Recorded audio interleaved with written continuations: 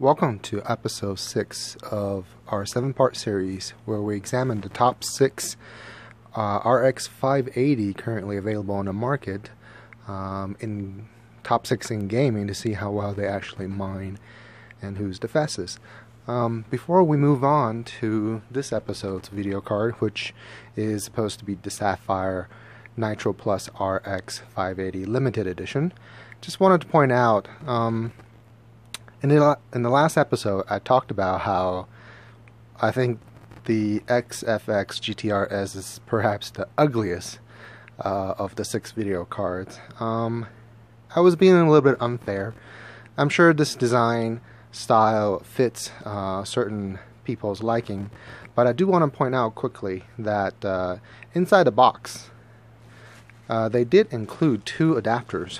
One is a 6 pin Molex, 6 pin to 2 Molex. So you can use your Molex um, connectors to supply power to the 6 pin portion of the uh, power input on the video card if you're lacking uh, cables.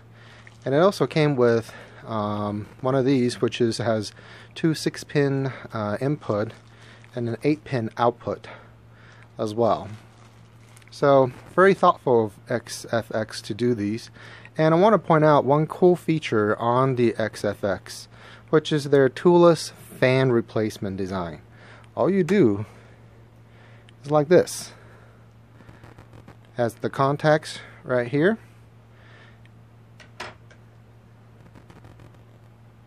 And the contacts right there. Just snaps into place super easy to do and this is a very thoughtful feature because it makes replacing faulty fans very easy very quickly. And the fans are perhaps the first component to go in a video card of this quality. Okay now moving on to the star of this episode which is the Sapphire Nitro Plus. The Sapphire Nitro Plus limited edition is very limited. It's very hard to find them um, on the market. Uh, similar to the XFX, it is a, considered a two slot card. And why is it limited edition? Well, the core clock is at um, 1450 megahertz.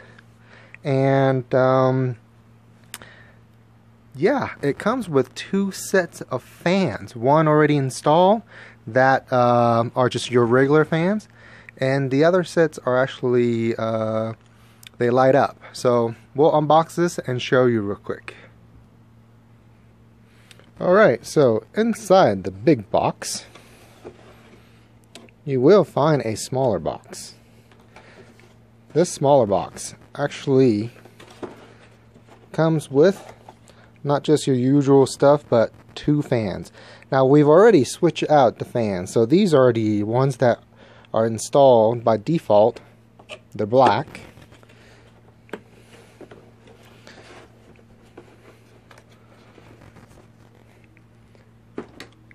And underneath the foam protection, you see the actual car. and this has the clear fans that uh, glows blue when they're plugged in to the power.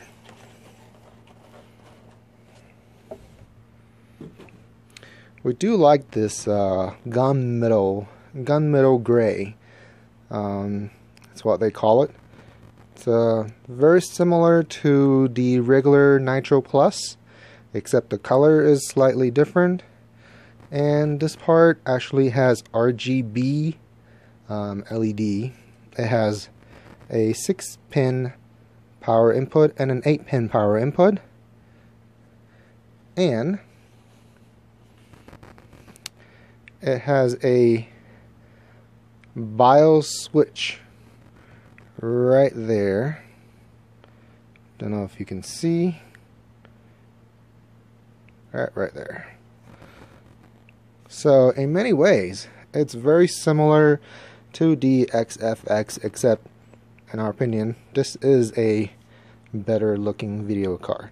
Now, Sapphire is never known for making flashy looking video cards.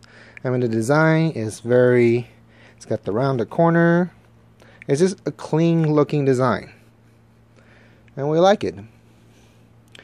And uh, as far as ports go, comes with the standard DVI. And by the way, MSI's reference design doesn't have any DVI connection. That's very annoying. Okay, it has one and two display ports as well as two HDMI port. So this is considered a uh, VR friendly video card. Can't wait to plug this thing in and show you what it can do. On to the test. So, um, back on April 24th, there was a review conducted on the Sapphire Nitro Plus RX 580 limited edition um, at Crypto Mining Blog. And in that review, um, it had it showed that the memory of their unit was Hynix and that it only uh, gave a stock uh, hash rate of 22.5 and it was very disappointing. So we were afraid that um, that's going to be the case for all of the limited edition uh, seeing how usually they don't switch memories for um, the same model. Um, but we got lucky and ours came with yes Samsung.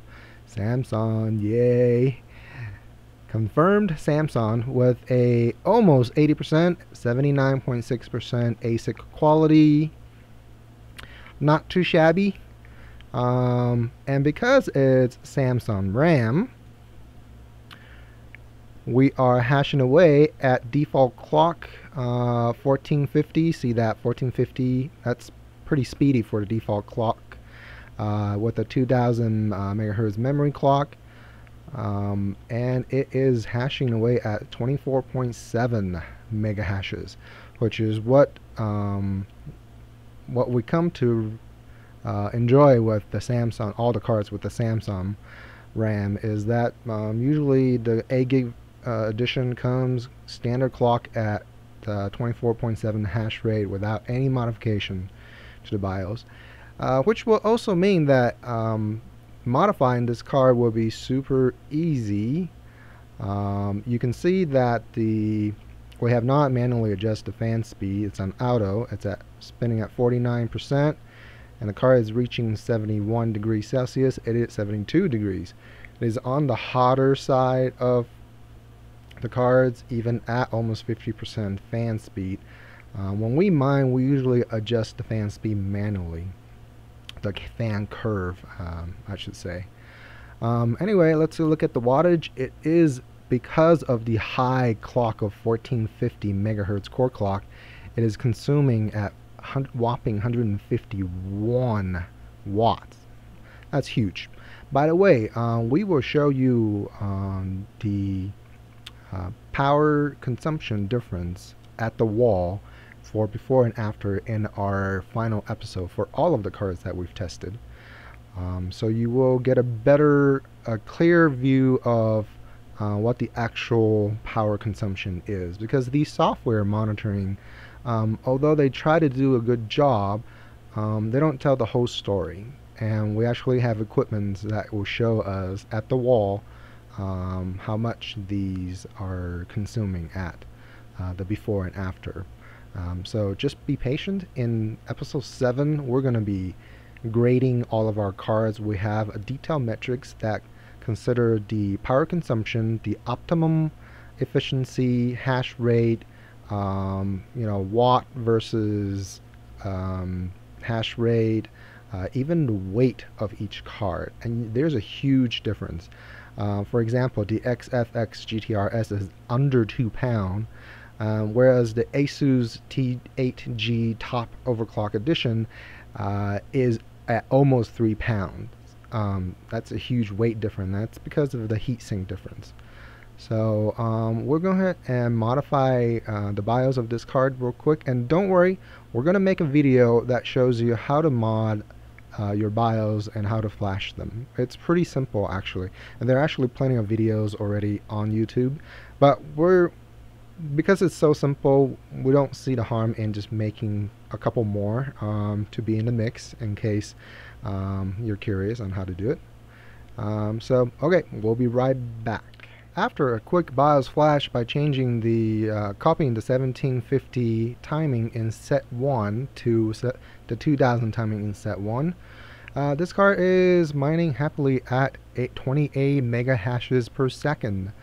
Um, that's a jump from a 24.7 to a 28. That's a healthy jump. Um, and as you can still see, we haven't changed any of the settings. Uh, obviously, gonna, this is all going to be changed. We're going to see how much we can get out of this card. But right now, it's everything is looking peachy. Uh, obviously, the power consumption did go up. Uh, that usually happens when um, you change the timing. Uh, and that will cause the temperature to go up slightly more as well. Um, but 28 mega hashes. This card is looking good. Good. So we'll do some fine tuning and uh, now don't get me wrong here. Um, all of the videos that we've done so far where we do the fine tuning on the spot. Um, sometimes it takes a couple hours to do and sometimes we get really frustrated but uh, ultimately these won't be the final settings that we'll be using um, because we actually spend a lot more time in the background um, trying to get the best case scenario and we use um, softwares other than Afterburner because Afterburner has a lot of limitations especially when it comes to core voltage but we figure since we started with Afterburner we'll do use Afterburner on all the cards just so it's a fair comparison um, because then you'll see with Afterburner's limitation how um, how much it's affecting the each card's performance um, but we do suggest using um, settings actually in the BIOS itself. So we mod the BIOS to the optimum setting. Um, so we don't have to worry about anything as far as launching the software. Or some people prefer to do it uh, in Claymore, which we'll have a video covering how to uh, program Claymore as well for the different uh, temperature, core, clock, and fan speed settings.